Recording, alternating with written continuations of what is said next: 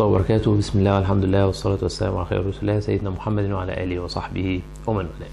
أهلا وسهلا بحضراتكم معانا في حلقة جديدة من حلقات الرد على شبهات المشككين في الإسلام العظيم. النهاردة معادنا مع شبهة برضو إيه، كثير من الناس بيثيروها في في باب المرأة وكل الشبهات اللي بيثيروها حول المرأة. وهو هو حديث النبي صلى الله عليه وسلم لما جاءوا قوم من فارس فسألهم النبي صلى الله عليه وسلم آه، قال من يحكم؟ مين اللي بيحكم دلوقتي فارس؟ فذكروا له اسم امرأة. أو اللي بيحكم دلوقتي في امرأة هي اللي ماسكة الحكم. فقال لهم النبي صلى الله عليه وسلم آه، ما أفلح قوم ولوا أمرهم امرأة وفي رواية لا أفلح قوم ولوا أمرهم امرأة فبيقولوا طيب إيه أنتوا عندكم النبي صلى الله عليه وسلم بيقول لا أفلح قوم ولوا أمرهم امرأة وانتوا شايفين المرأة دلوقتي بقت ناجحة في كل مكان وكذا وكذا وإن الإسلام ينظر للمرأة نظرة دونية إن هو شايف إن هي مش هتنجح وغيره من الأكاذيب اللي بيقولوها. لو جينا نبص للأمر ده في البداية هنلاقي النبي صلى الله عليه وسلم سأل على من يحكم الآن إمبراطورية فارس؟ مين اللي بيحكم؟ الولاية الكبرى. اللي هو القائد اللي هو رئيس ال- ال- الكيان كله. اللي هو إحنا عندنا في الإسلام اسمه خليفة المسلمين. فاذا هنا النبي صلى الله عليه وسلم بيتكلم على المكانة دي. المكان اللي يكون مكان خليفة المسلمين. فالنبي صلى الله عليه وسلم بيقول إن مش هيفلح إلا هيمسك لو بيقول القوم اللي هيخلوا يمسك المنصب ده مرأة لن يفلحوا. طيب ليه النبي صلى الله عليه وسلم قال كده؟ تعال نبص بالعقل والمنطق. اولا الولاية الكبرى في الإسلام هي بيكون لها مهام كتير. من المهام الرئيسية لها وهنذكر يعني بعض الأمور بس اللي عايزين نركز عليها في النقطة دي هي مه- مهمة قيادة الجيوش. يعني القائد العام ده بيكون موجود في المعارك بيقود الجيوش بيكون مشترك في الخطط الحربية في كذا في كذا في كذا. فالله عز وجل خلق المرأة آه، بطبيعة معينة. الطبيعة دي تخليها ما تقدرش تشوف الدماء والقتل. يصعب عليها. هي ربنا عز وجل خلقها بهذه العاطفة. خلقها إن هي ما تقدرش مثلا تكون في معركة وتشوف أخوها مثلا قتل أو تشوف آه، حد يعني له معزة عندها قتل.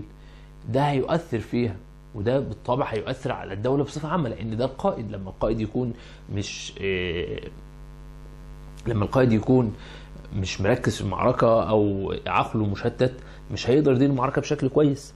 فمن هنا كان ده شيء منطقي إن الإسلام قال لها ما تحطيش نفسك في الموقف ده عشان مش هتقدري تستحملي. لذلك حتى الإسلام في أمر الجنائز أمر إن المرأة لا ترى الجثة وهي تخرج من المنزل ولا تشيعها حتى تدخل القبر. ليه؟ لأن الرجل هو خارج من منزله المرأة بتشعر بألم إن الراجل ده خرج ومش هيرجع تاني. يعني آخر مرة يطلع من البيت مش هيدخل البيت ده تاني. فالموضوع ده بيأثر فيها. فالإسلام امرها قال لها ما تتفرجيش على المشهد ده. أنت مش هتقدري تتحملي وكذلك في القبر اللي هو هيدخل قبره هنغلق عليه ومش هيخرج تاني. فالإسلام من يعني لأنه يعلم عاطفة المرأة الشديدة فقال لها ما تحطيش نفسك في الموقفين دول. فما بالك بقى في معارك فيها دماء وأنهار من الدماء وقتل و... واللي إيده بتقطع واللي رجله بتقطع واللي رقبته بتقطع. فطبعا أمر صعب جدا إن هو يحطها. وده مش إهانة للمرأة بل هي دي طبيعة تكوينها زي مثلا على سبيل المثال لو أنت دخلت سباق مع قطة قطة والقطة سبقتك هل معنى كده إن أنا بقول لك القطة دي أذكى منك. وهي أعقل منك وكذا. ما حدش يقول كده ما حدش يفهم ابدا الفهم ده. إنما ربنا عز وجل خلق القطة بصفة معينة خلاها تقدر تجري بشكل سريع وأنت بصفة معينة ما تقدرش تجري مثلا بنفس السرعة بتاعتها. فليس معنى إن هي سبقتك إن هي أحسن منك أو إن هي أعقل منك أو أذكى منك. ما حدش قال ابدا الفكر ده. إنما بنقول إن هي ربنا عز وجل خلقها بصفات معينة وخلقك بصفات معينة وخلق المرأة بصفات معينة. فأنا لما أقول إن المرأة مش هتستحمل المشهد ده ده مش إساءة ليها. محدش ابدا يقول كده. فاذا وده اللي وض... وده اللي وضحناه في الشبهات السابقة. فاذا ده كان أول أمر هي مش هتقدر آه، تتحمله. الأمر الثاني إن أمر الولاية العامة للمسلمين هو بيطلب فيه أمور كتير. زي إيه؟ زي إن هو بيصلي بيؤم المسلمين. ال- المفروض الوالي ده أو الخليفة بيؤم المسلمين في الصلاة. وإحنا شرعنا بيقول إن اللي يؤم المسلمين يكون رجل. فانت مش هينفع آه، تكوني في المنصب ده لأن في أدوار انت غير مسموح لك إنك تقومي بيها. هتقولي طب وليه الإسلام ما خلاهاش هي تقوم الرجالة؟ هقول لحضرتك والله بقى إيه ده تشريع الإسلام وربنا عز وجل شرع كده. وإن شاء الله في حلقات قادمة هن يعني هنشرح لحضرتك ونبين لك ليه الإسلام أمر بكده بس بصفة عامة إن دي بقى شرائع داخلية للإسلام ومحدش بيتدخل فيها زي ما أنت مثلا كنصراني البابا عندك ينفع يبقى ست؟ لا. ليه؟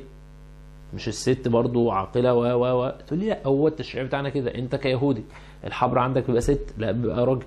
فاذا إن من الأمور الولايه الولاية الكبرى في الإسلام هو أمر خطبة الجمعة. يخطب الجمعه في المسلمين أمر امامتهم في الصلاة. فاذا دي أمور المرأة مش هتقوم بيها فطبيعي الإسلام قال لها ما تحط يعني مش هينفع تقومي بنص المهمة والنص التاني ما تقوميش بيه. طيب هتقول لي ال- الشبهة بقى اللي كتير جدا بيرددوها دلوقتي يقول لك طب النبي صلى الله عليه وسلم قال كده؟ طيب ما تيجي تبص أنت عندك أمثلة من نساء بيقودوا دول وناجحين والدول دي متقدمة و و والكلام ده. طيب تعال نبص في البداية للفكرة دي. اولا تعال نبص لحديث النبي صلى الله عليه وسلم نفسه اللي النبي صلى الله عليه وسلم قال فيه آه، ما أفلح قوم ولوا أمرهم امراه هل تعلم إن إمبراطورية فارس سقطت بعد هذا الحديث ب 30 سنة؟ الكلام ده معناه إيه؟ معناه النبي صلى الله عليه وسلم بيقول لك مش معنى الكلام إن أنا بقول لك إن ما أفلح قوم ولا أمرهم امراه يعني الست هتمسك يوم السبت يوم الأحد البلد هتقع. محدش فاهم الفهم ده إنها بيتكلم في المستقبل إن الدولة هتضعف هتضعف هتضعف إلى أن تنهار ده اللي بيتكلم فيه. فإذا ما تجيش تحكم تقول لي إيه والله واحد ست مسكت الحكم سنتين ما حصلش حاجة لا إحنا ما بنتكلمش على سنة وسنتين وثلاثة وده مش عمر الأمم. الأمم أعمارها بتتقاس ب 500 سنة و700 سنة و1000 سنة ده أعمار الأمم. فإذا دي النقطة الأولى. النقطة الثانية إن أصلا ما فيش مرأة دلوقتي على مستوى العالم تتولى الولاية العامة في أي أمة مسلمة أو غير مسلمة. ليه؟ لأن كل الدول المتقدمة أنت بتتكلم وتدي أمثلة بيها تحولت من حكم الولاية ال- ال- الوالي العام أو الخليفة إلى حكم النظام المؤسسي يعني إيه؟ يعني الخليفة في الإسلام هو اللي بيحكم وبيقرر. جميل؟ وقراره خلاص بيلزم للجميع. إنما مثلا في الأنظمة الجديدة لا النظام مش كده. بقى في رئيس في حكومة وفي برلمان وفي معارضة. فممكن الرئيس يقرر قرار والبرلمان يلغيه. ممكن وزير يقرر قرار ورئيس الوزراء يلغيه. فبقى نظام مؤسسي. فنظام مؤسسي ده ما عادش اللي هو نظام بقى اللي النبي صلى الله عليه وسلم بيتكلم عليه اللي هو فيه الخليفة اللي هو قائد العام زي النبي صلى الله عليه وسلم ما كان خ... يعني هو هو قائد المسلمين جه بعده سيدنا أبو بكر هو الخليفة بعديه سيدنا عمر بعديه بعديه بعديه. فالنظام ده أصلا مش موجود دلوقتي عشان تقيس عليه وتقول لي شوف فلان ما هو أصلا المنصب ده مش موجود. فلا ميركل كده ولا تاتشر كده ولا تريزا ماي كده ولا أي حد من الموجودين. فاذا ما فيش ما فيش أصلا مثال موجود دلوقتي عشان تقيس عليه. وخلينا نفترض جدلا نمشي معاك برضه إلى نهاية المطاف ونقول يا سيدي لأ الناس دي ماسكة وكل حاجة. اولا زي ما قلنا مفيش حد مسك فترة طويلة يعني مفيش امه من الأمم قعد مثلا على حكمها مثلا لمدة 500 سنة من مرأة لمرأة لمرأة لمرأة لمرأة. دي ما حصلتش مش موجودة لا ألمانيا ولا إنجلترا ولا أمريكا ولا أي دولة. دي النقطة الأولى. النقطة الثانية طب تعالى أديك أمثلة بأشهر الزعماء ال- النساء اللي يعني بتضرب بهم مثل في النجاح و و والقصص على سبيل المثال مثلا آه، مارجريت تاتشر من الزعيمات الكبيرة جدا واللي يعني حققت نجاحات كبيرة جدا جدا لإنجلترا. آه، بيروي أحد مستشاريها. الكلام موجود على الإنترنت يعني ممكن لو حضرتك تحب ترجع له. بيقول إن في مرة من المرات ال- السفن البريطانية كانت بتعدي من آه، منطقة اسمها فوكلاند في الأرجنتين. فخرج أهل فوكلاند على السفن دي واعتدوا عليها وقتلوا فيها كتير من ال- الجنود والضباط و- و- والأمور دي. فأرسلوا إلى مارجريت تاتشر يخبروها. فالمستشار بتاعها ده أو السكرتير بتاعها بيقول دخلت أخبرها فبقول فانهارت في البكاء. تخيل بقى مارجريت تاتشر اللي إحنا بنحكي عليها دي. انهارت بكاء ليه؟ لأن هي طبيعتها كده. ربنا خلقها كده. زي ما كنا بندي مثال السبق اللي بينك وبين القطة. هي طبيعة المرأة كده إن عندها عاطفة كبيرة. فدي اما انهارت بكاء دي مش إساءة لتاتشر إنما هي طبيعتها كده. فاذا الإسلام لما قال بقى ما تحطيش نفسك في الموقف ده لأنه عارف إن طبيعتها هتغلبها. تخيل دلوقتي مثلا لو إحنا بقى في معركة وجيشين بيحاربوا بعض وقائد الجيش ده شاف قائد الجيش تاني بيعيط. خلاص المعركة انتهت المعركة نفسيا للجيش ده انتهى. فاذا عشان كده الإسلام بيقول لها ما تحطيش نفسك في الموقف ده. مثلا مثال تاني مثلا مثال أن آه، ميركل آه، رئيسة الوزراء الألمانية المستشارة أنجيلا ميركل. كانت في مباحثات من من شهور قريبة مع بوتين حصل مشكلة اللي كان بين روسيا وأوكرانيا وكده وراحت هي الاتحاد الأوروبي بعتها عشان تتكلم معاه تحل الموضوع ده. فالمخابرات الروسية بعتت تقرير لبوتين قالت له إن إن ميركل بتخاف من الكلاب. عندها مشكلة هي كبنت بتخاف من الكلاب. فبوتين رتب مع المخابرات إن هم جابوا كلبين كبار جدا في الحجم مش على النت حاجة كبيرة قوي. واستقبل ميركل. وبعدين قال لها اتفضلي على قاعة كده هنقعد نتكلم فيها.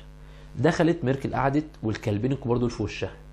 فالتقرير اللي كان بيحكي إن الكلام ده كان منشور على السي ان ان فبيحكي التقرير بيقول إن ميركل قعد بالظبط 10 دقائق ما قدرتش تتكلم فيه وطلبت منه إن هي تنهي المقابلة وتستأذن وتمشي.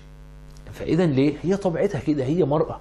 انت آه شايف ميركل ناجحة وكل حاجة بس نجاحها ما غيرش طبيعتها من ان هي مرأة. فاذا الإسلام لما قال لها انت ما تحطيش في المكان ده ده مش إهانة ليها. فاذا اولا زي ما بقول لحضرتك ما فيش حد دلوقتي موجود على وجه الأرض بيتولى منصب الولاية الكبرى خالص. تمام؟ ده أول أمر. الأمر الثاني إن طبيعة المرأة تخليها ما تحتملش الحروب والدماء وغير ذلك. الأمر الثالث إن الحديث بيتكلم عن إن أمة يتولى أمرها مرأة فمرأة فمرأة لمدة 500 600 سنة مش بنتكلم على سنة ولا اثنين ولا ثلاثة الأمر الرابع إن الحديث كله بيتكلم على الولاية العامة وما بيتكلمش على الولايات الخاصة. وإن في الولايات الخاصة ممكن المرأة تنجح وتنجح جدا. تبقى دكتورة ودكتورة شاطرة جدا مهندسة مهندسة شاطرة جدا محاسبة محامية في كل المجالات تجتهد وت... وتخترع وتصنع وتزرع وتعمل كل حاجة مفيش أي مشكلة. والإسلام يسمح لها إن هي تمسك كل المناصب دي يعني مفيش مشكلة. يعني ممكن دكتورة تمسك مديرة مستشفى وتنجح جدا. تمسك أي إدارة في أي تخصص وتنجح فيه بشكل كبير جدا. فيعني ده كان رد بسيط على الشبهة اللي انتشرت برضو بشكل كبير. ونتمنى دايما زي ما بنقول كما للباطل جنود نتمنى إن يكون الحق جنود.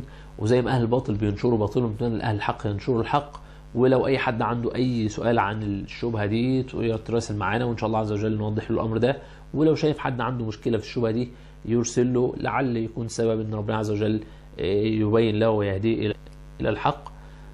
سبحانك اللهم وبحمدك نشهد أن لا إله إلا أنت استغفرك ونتوب إليك. السلام عليكم ورحمة الله